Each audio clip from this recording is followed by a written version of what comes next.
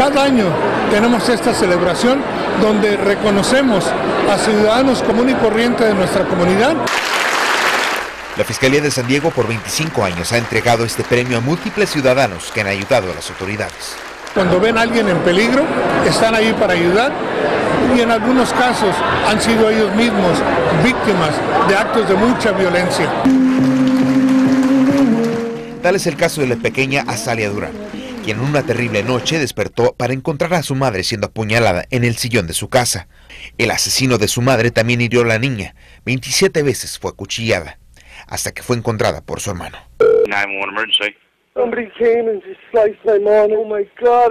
Al llamar a emergencias, ella fue trasladada al hospital de niños. Días después, ella pudo identificar desde la cama del hospital a su agresor.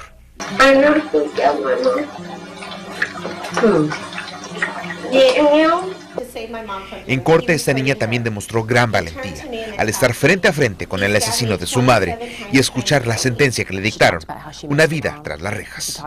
Todo muy bien, tiene mucho valor, tiene mucho valor.